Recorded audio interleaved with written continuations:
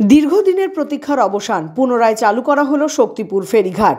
BDO এবং পঞ্চায়েত সমিতির উদ্যোগে এই ফেরিঘাট পুনরায় চালু করা হয়, যার ফলে উপকৃত হবেন স্থানীয় বাসিন্দা থেকে টোটো চালক এবং নিত্যযাত্রীরা।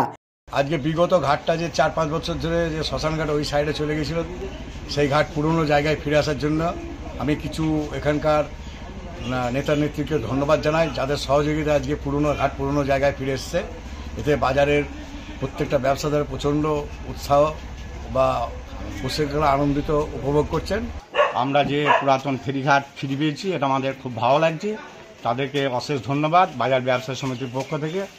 আমরা সকলকে অভিনন্দন জানাচ্ছি আমাদের বাজার ব্যবসা সমিতির পক্ষ থেকে যে আমাদের দীর্ঘ চার বছর যাবৎ যে ঘাটটা অন্যত্র চলে গিয়েছিল, এখানে আবার ভালোভাবে ফিরে আসুক, আমরা এটাই কামনা করছি। কিছু সমস্যা রয়েছে এখনও সেগুলো দ্রুত সমাধান হলে আরও উপকৃত হবেন এলাকার মানুষেরা। যাতে করে আমাদের এই ঘাটটা পুনরায় চালু হতে আমরা অত্যন্ত আনন্দিত। বা সত্যপুর বাজারে যারা ব্যবসাদার, তারাও আনন্দিত এবং সাধারণ মানুষ তো উপকৃত হবেই। একথা বলার অপেক্ষা রাখে না।